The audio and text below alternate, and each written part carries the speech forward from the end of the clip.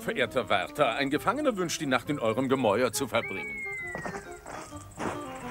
Und äh, ist das euer Gefangener? Nein, nein, das ist der Sheriff. Der Gefangene, das bin ich. Was? Dir werden wir die Mätzchen schon noch austreiben. Machen Sie ihn los, Sheriff. Wir werden uns um ihn kümmern. Ja schon, ja, aber wo ist der Schlüssel? Der ist hier.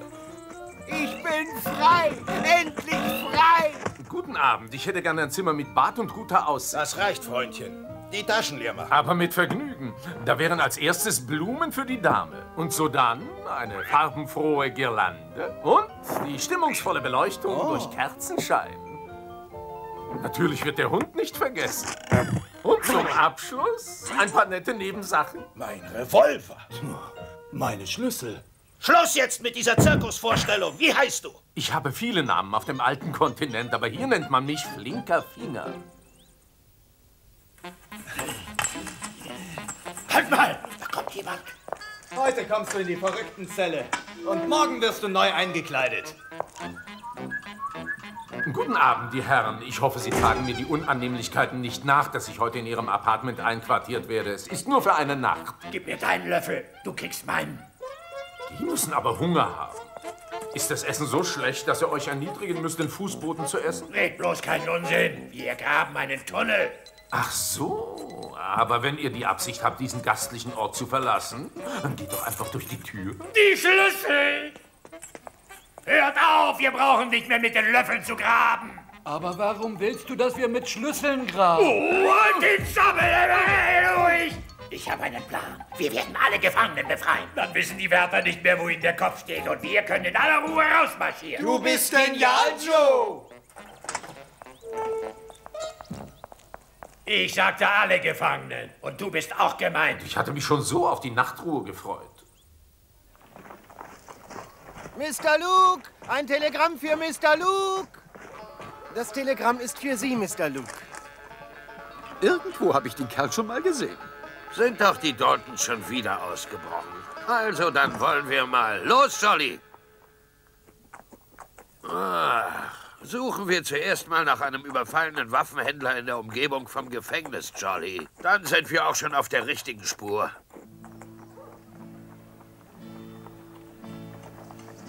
Ja, Sie waren hier. Vier Revolver haben Sie mir geklaut. Das wollte ich nur wissen. Das sind sie, meine vier Banditen. Nein, fünf. Fünf? Ich suche die Daltons, das sind aber nur vier. Sie haben auch nur vier Revolver gestohlen. Genau, aber die Kerle waren wirklich fünf.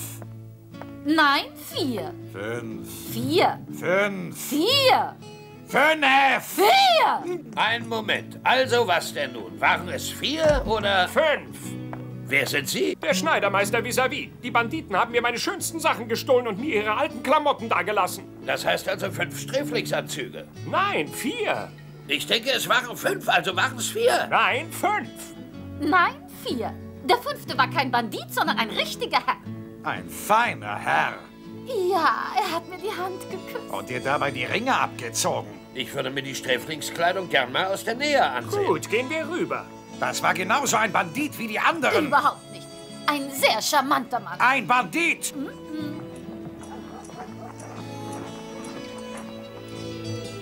Da hängen ja die vier Daltons, aber wer war der fünfte? Ein feiner Herr. Tch. Er hat mir eine Blume ins Haar gesteckt. Und seitdem sind deine Ohrringe verschwunden. Das war ein richtiger Gentleman. Ja, vorne mit G wie Gauner.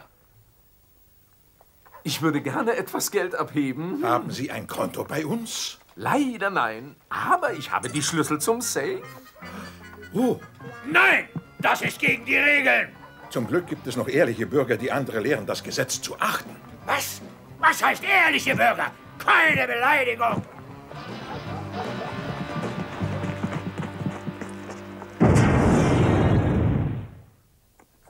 Es verdient Anerkennung, dass die Daltons immer deutlich eine heiße Spur hinterlassen.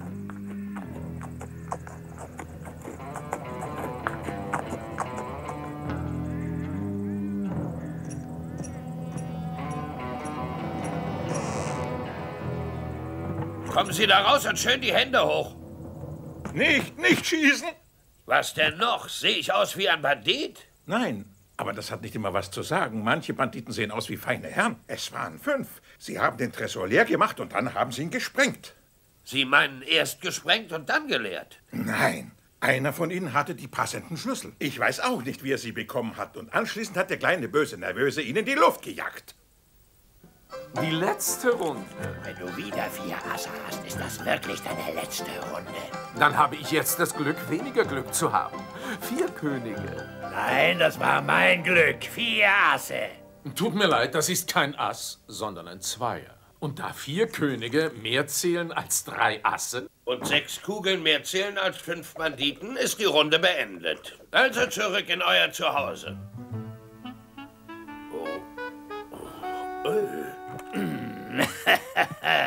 Der Augenblick, von dem ich mein Leben lang geträumt habe.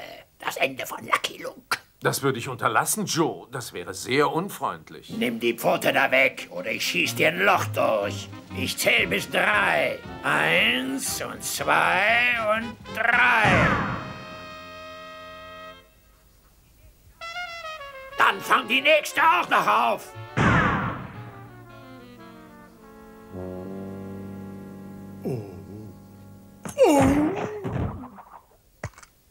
Flinker Finger, fessel sie. Ich denke, wir machen eine hübsche Geschenkpackung daraus.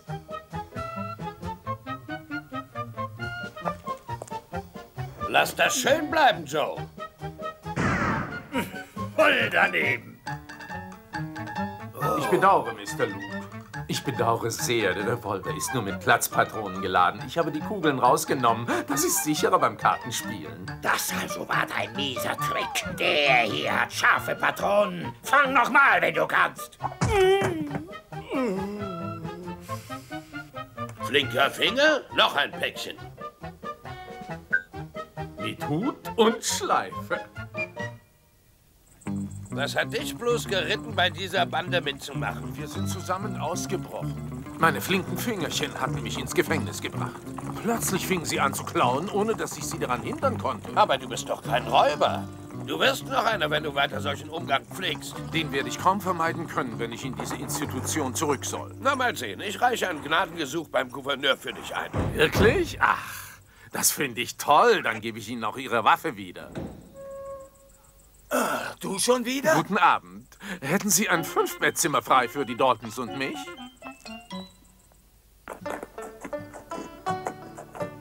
Mr. Luke! Mr. Lucky Luke! Hört sich nach Überraschung an. Es ist eine Peinlichkeit, mit den Daltons ein Zimmer zu teilen. Wie bist du denn rausgekommen, ne? Mit dem Schlüssel, so wie immer.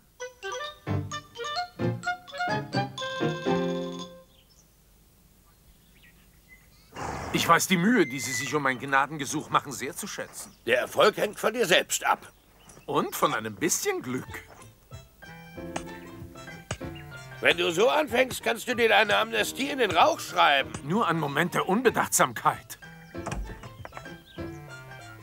Und halt deine Hände fest. Mein Mann ist in einer Sitzung. Wenn Sie hier warten möchten. Mit dem größten Vergnügen. Welche Freude, sich in so bezaubernder Gesellschaft zu befinden. Erlauben Sie bitte? Oh, Darf ich Ihnen die Rose in Ihr wundervolles Haar stecken? Schluss jetzt, flinker Finger. mein lieber Mr. Luke, Ihr Freund ist ein sehr galanter Mann. Da kann sich mancher ein Beispiel nehmen. Mr. Luke, ich habe das Gnadengesuch erhalten und würde ihm gerne stattgeben, aber angesichts der letzten Missetaten, äh, Banküberfall in Gesellschaft der Daltons... Das geschah unter Zwang, Exzellenz. Da sieht man, wo schlechte Gesellschaft hinführt. Glücklicherweise wählt Mr. Luke seine Freunde jetzt besser aus. Aber meine Liebe, der Gnadenerlass ist nicht für Mr. Luke gedacht, sondern für diesen Herrn. Ausgeschlossen? Das ist ein Missverständnis. Ich zähle auf dich, Henry. Folgen Sie mir, ich lasse Ihnen den Gnadenerlass ausstellen. Madame, das Vergnügen war exorbitant. Das wär's und kommen Sie nicht wieder. Vielen Dank, Exzellenz. Und das hier nur zum Beweis, dass ich mich bessern will. Das Medaillon meiner Frau? Es sind seine Hände, Exzellenz. Er weiß selbst nicht, was sie anrichten. Wenn dieses Individuum nicht auf seine langen Finger aufpassen kann, dann müssen Sie das eben tun. Sie haben die Verantwortung. Vielen Dank, Mr. Luke. Ohne Sie hätte ich das nie erreicht. Und ich habe jetzt die Verantwortung für dich am Hals. Da sehe ich nur eine Lösung. Wir brechen auf in die Wüste, denn da gibt es nun mal nichts zu klauen.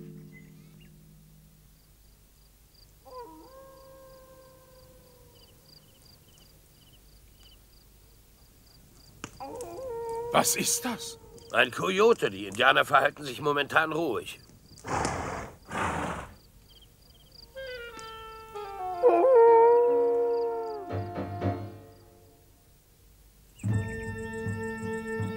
Keinen Widerstand leisten. Glücklicherweise kenne ich den Häuptling.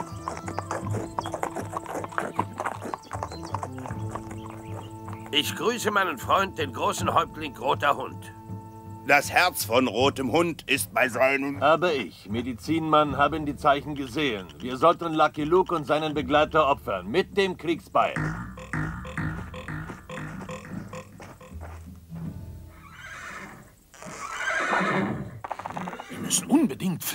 Fragt sich nur wie. Einfach so. Ich hatte mal eine Bühnennummer, die hieß König der Ausbrecher. Vorsicht, da kommt jemand.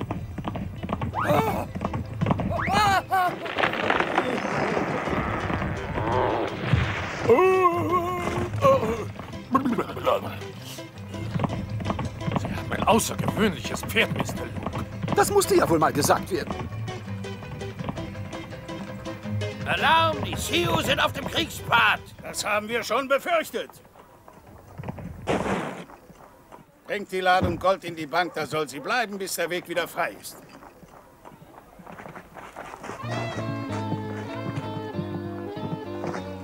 Nun, dann bleibe ich auch da, bis der Weg wieder frei ist. Ich hätte gern ein Zimmer mit Blick auf die Baba... Ich meine, auf die Straße. Für mich bitte das gleiche Zimmer und gib dem Mann seine Krawattennadel wieder. Diesmal will ich noch ein Auge zudrücken. Aber ich mag es gar nicht, dass du ein Zimmer mit Blick auf die Bank haben willst. Ich brauche ein Zimmer mit Blick auf die ba, ba, ba, auf die Straße. Das ist besetzt. Das ist Pech, aber vielleicht lässt sich das mit einer kleinen Aufmerksamkeit regeln.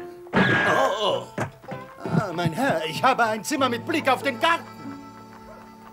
Warum nur wollen Sie alle ein Zimmer zur Straße raus haben? Mr. Flinkerfinger wird Ihnen das gerne erklären. Ich lasse mir solche ehrenrührigen Unterstellungen nicht bieten. Ich suche mir woanders ein Zimmer. Sehr gut. Und ich werde Sie natürlich begleiten. Das würde mich überraschen. Oh. Wer war das? Ich? Nun, Mr. Luke, beabsichtigen Sie immer noch, das Zimmer mit mir zu teilen?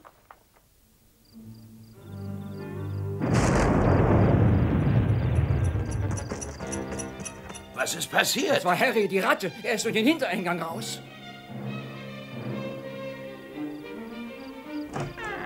Da ist er. Wer hat dich hier festgemacht? Der miese Hilfs-Sheriff. Wo ist das Gold? Der Hilfs-Sheriff hat es konfisziert. Was ist denn hier los, Sheriff? Ich habe nur diesem verflixten flinken Finger sein Essen gebracht und da... Ja gut, schon verstanden. Wo ist das Gold? Meine Bank wurde beraubt. Ihr Stellvertreter hat den Dieb gefangen und das Gold gerettet. Sheriff! Ihr Gehilfe hat meine Pferde requiriert. Was für ein Gehilfe? Ich habe keinen Gehilfen.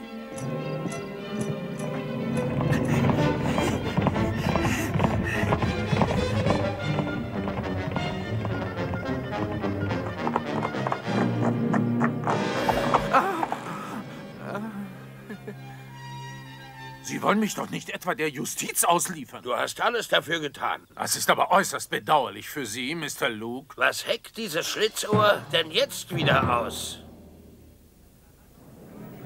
Die Verhandlung gegen Flinker Finger ist hiermit eröffnet. Angeklagter Flinker Finger, ist das Ihr richtiger Name? Ich habe viele Namen, Euer Ehren. Ich feierte einst Triumphe unter König der Magie sowie Gaston der Verführer. Aber ich habe nie verführt, sondern ich werde verführt durch die Schönheit. Angeklagter, nehmen Sie wieder Platz! Ferdinand, warum lässt du diesen Herrn nicht ausreden? Schon gut, meine Liebe. Ihr Anblick hat mich tief berührt und ich möchte mir diesen Augenblick bewahren. Und was ich empfange, gebe ich zurück. Wie kommt er denn zu meinem Medaillon? Wie romantisch das doch ist. Und als er die Bank beraubt hat, war er da auch romantisch. Aber ich habe die Bank nicht beraubt. Das Gold wurde von einem anderen entwendet, und zwar von diesem Herrn. Aber mir hat er es gestohlen, dieser elende Gauner. Zügeln Sie Ihr Mundwerk, es sind Damen anwesend. Er ist höflich und wohlerzogen. Ein wahrer Gentleman. Aber bevor Sie nun den wahren Bankräuber verurteilen, bitte ich das Gericht nachdrücklich um Milde. Da wäre seine schwere Jugend, sein erbärmliches Äußeres, seine völlig unmögliche Erziehung. Aber Sie sind der Angeklagte. Sie sind mit dem Gold durchgebrannt. Oder wollen Sie damit auch einen anderen beschuldigen? Leider ja. Mr. Luke ist der wahre Schuldige. Was? Flinker Finger, Sie haben sich des Goldes bemächtigt. Wie kommen Sie zu der Behauptung, dass Lucky Luke das Ding gedreht hat? Das behaupte ich keineswegs, Euer Ehren. Ich sage nur, dass Mr. Luke der wahre Schuldige ist. Seine Exzellenz, der Gouverneur, kann das bezeugen. Ich? Haben nicht Sie höchstpersönlich Lucky Luke für meine Taten verantwortlich gemacht? Ja, aber... Wenn das so ist, kann Mr. Flinker Finger nicht verurteilt werden. Hast du das gehört? Ja, Ferdinand. Ja, meine Liebe. Aber er hat meine Pferde gestohlen. Er hat mich eingesperrt. Aufhängen. Er ist unschuldig. Und mein Mann kann das bezeugen. Baumeln soll er. Ruhe! Die Jury wird sich beraten.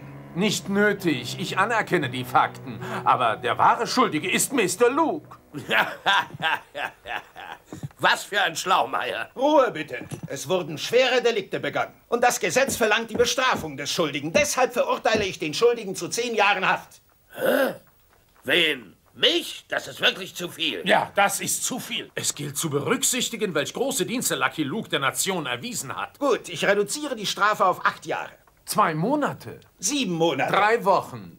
Sechs Wochen. Vier Tage. Fünf Tage. Angenommen.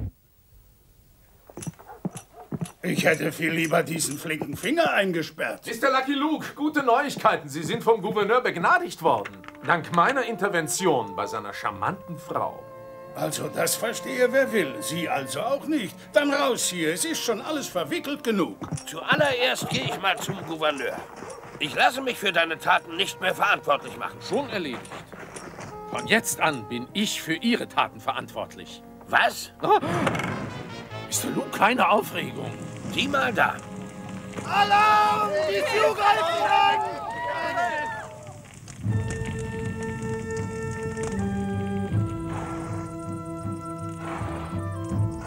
Der Angriff kann beginnen. Aber das Herz von Roter Hund ist schwer. Das Zauberbeil bringt uns den Sieg. Oh, ein Meisterschuss, Mr. Luke.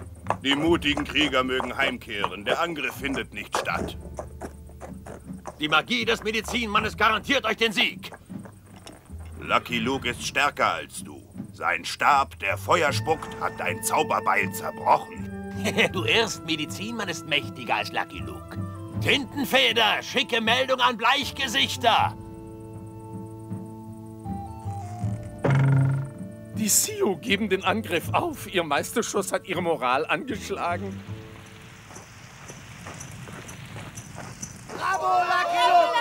Sein Opfer wird die Stadt retten! Opfer? Ich habe eine Nachricht von den Sioux erhalten. Wenn Lucky Luke nicht vor Sonnenuntergang ausgeliefert wird, werden wir die Stadt zerstören. Schon gut. Ich gehe zu den CEO. Wirklich? Ich habe einen Plan und du kannst mir helfen. Die Sonne geht in die Erde. Der Angriff kann beginnen. Nein, ich sehe Lucky Luke mit Wagen.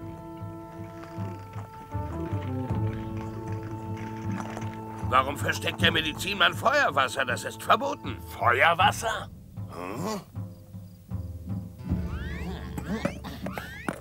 Oh, oh. Schlechte Medizin für die Krieger von Roter Hund. Medizinmann soll Roter Hund dafür Erklärung geben. Der böse Geist wohnt in der Seele von Lucky Luke. Medizinmann fordert Lucky Luke heraus zu einem Duell der Magie. Unsere besten Bogenschützen schießen auf Medizinmann und Lucky Luke. Und wer von uns stirbt, hat verloren.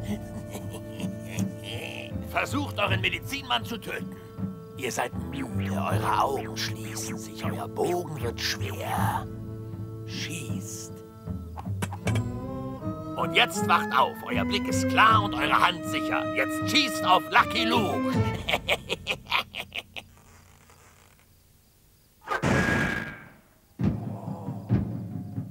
Oh.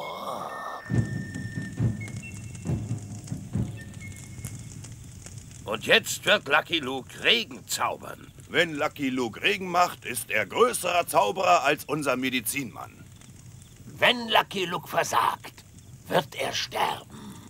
Wenn Lucky Luke Erfolg hat, werden Roter Hund und seine Krieger den Kriegspfad verlassen. Hau! Jetzt Regen, falle herab, komm und lösche das Feuer. Oh.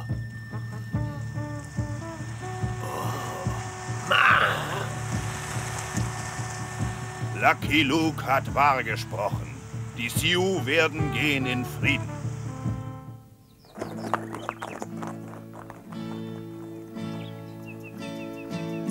Komm, flinker Finger, es hat geklappt. Wenn Sie die Feuerlöschpumpe entdeckt hätten, wäre es mir schlecht gegangen. Ich muss sagen, Ihre Premiere war ein Erfolg. Sie sind ein gelehriger Schüler. Danke. Und wenn du mir meinen Revolver wiedergibst, kriegst du dein Portemonnaie zurück. Ja, mein lieber Lucky Luke, Sie haben der Stadt einen großen Dienst erwiesen. Aber leider ist es so, dass ich die Belohnung erhalte. Was? Aber ja, der Gouverneur macht mich für alle Ihre Taten verantwortlich. Deshalb ist es meine Pflicht, die Konsequenzen zu ziehen, auch wenn es sich um Belohnungen handelt. Schon gut. Es lebe Lucky Luke! Hat die Wer sich um unsere Stadt so verdient gemacht hat, soll auch belohnt werden. Ja, hervorragend. Wir laden Sie ins Rathaus ein, wo wir Ihnen eine Urkunde übergeben werden, um Ihren Mut und Ihre Uneigennützigkeit zu würdigen. Vor der offiziellen Feier möchte Ihnen die gesamte Bevölkerung unserer Stadt, die Sie durch Ihren Einsatz gerettet haben, Dankbarkeit beweisen. Auf Wiedersehen, Mr. Luke. Ich kann an der Ehrung, die Ihrer Uneigennützigkeit gewidmet ist, leider nicht teilnehmen. Großzügigkeit, Ihre Selbstlosigkeit, die uns ein Beispiel für nachfolgende Generationen sein wird. Hier sitzt der Mann, der für mein Tun verantwortlich ist. Alle Ehrungen gelten ihm. Es lebe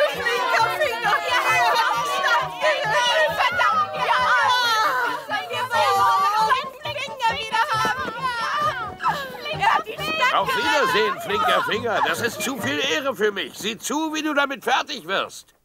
There guys best.